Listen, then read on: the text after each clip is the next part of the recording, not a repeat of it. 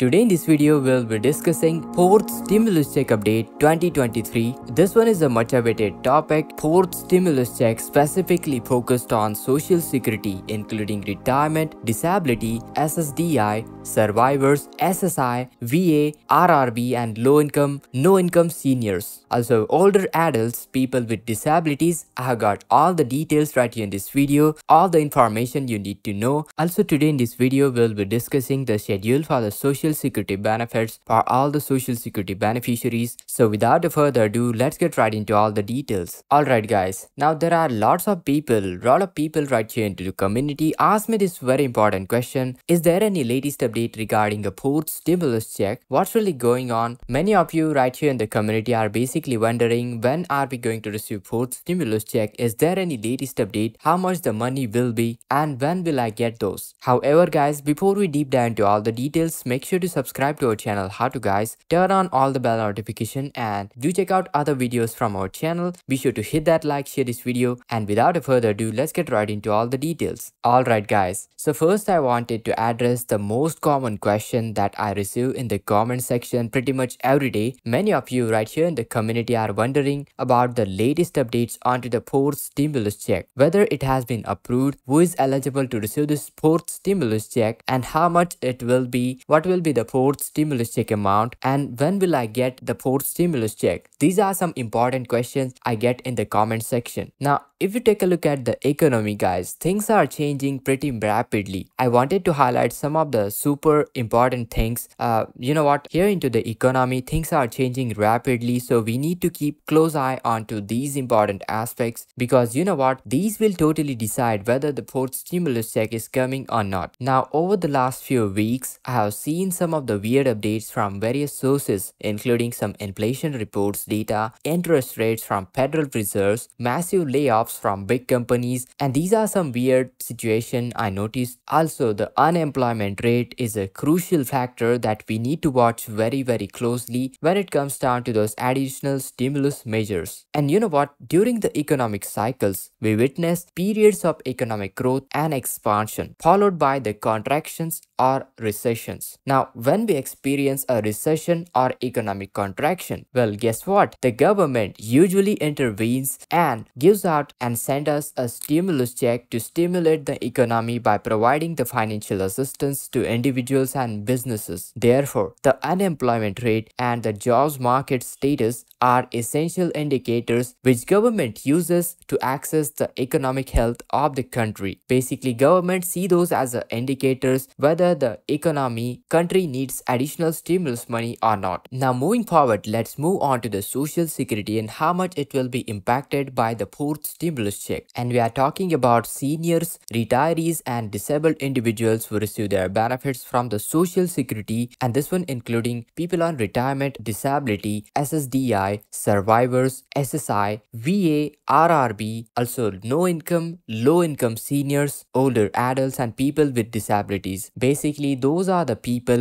who are hit hard by the pandemic. Many of these individuals are struggling to make their end meets right now, simply to pay out their bills, put food onto the table, even to afford the basic necessities. While you know what, a fourth stimulus check is not guaranteed at this point, there are other measures that government might be taking to provide assistance to the vulnerable groups. For example, they could increase the social security benefit amount, also they can expand the eligibility criteria or introduce additional programs and incentives which are aimed at helping seniors, disabled individuals and low-income families. Like I said guys, I said, we need to watch some economic indicators. We need to watch very, very closely to understand the possibility of another stimulus check which is being approved or not. Now, I know guys, some of you may find this information bit of overwhelming, but you know what? It's essential to understand that when it comes down to the fourth stimulus check, we need to watch out for these key important factors. Unfortunately, we just can't write a letter or make a phone call to the Congress and just ask them for a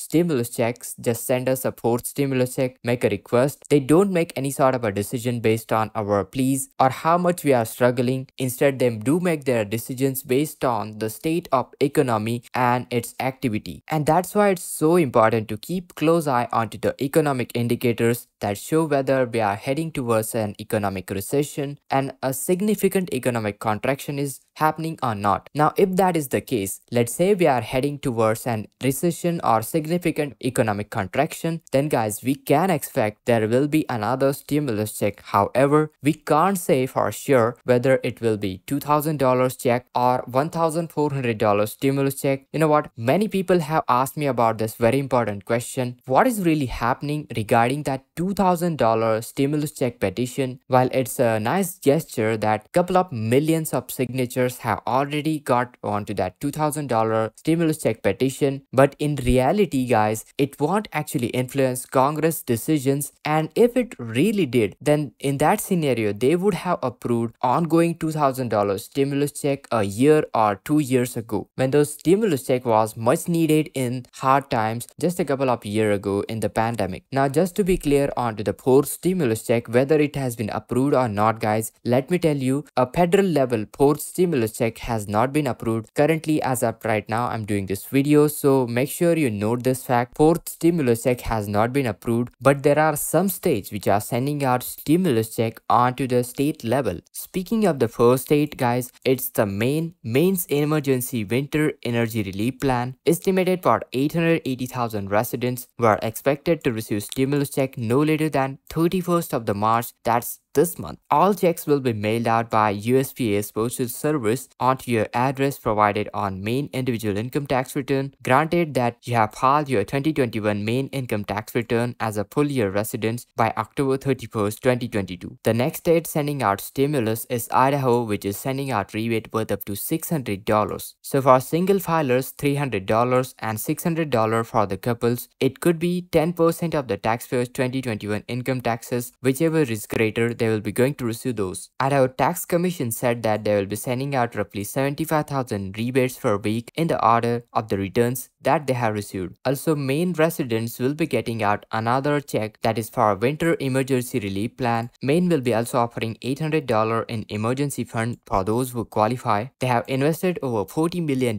in supplementing the federal low-income home energy assistance program, with average benefits ranging from 1,600 to $2,200. Also, next one here into the Georgia, residents could earn up to $500. Governor Brian Kemp proposing to send out one-time rebates which could cost $1 billion of the state's $6.6 billion budget surplus. According to the proposal, married couples would get $500 while individuals can get $250. It has been made known that it's based on a similar refund that went out last year and those refund payments including $375 for the taxpayers filing as heads of household but there is no mention of that in the new proposal. Also right here into the Montana, Montana residents could get benefit from the payments which would total $480 million. The money would become available as a one-time payments of $1,250 rebates. Also, homeowners can receive up to $500 in property tax rebate from 2022 and 2023. Alright guys, moving forward, let's check out the schedule for the Social Security benefit payment for the month of April. And now we are at the end of the March month. Basically, the